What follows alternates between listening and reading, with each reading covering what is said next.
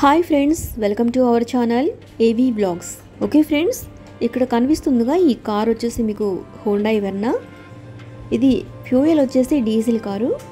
ఈ car model వచ్చేసి రెండు వేల పదిహేడో సంవత్సరానికి సంబంధించింది.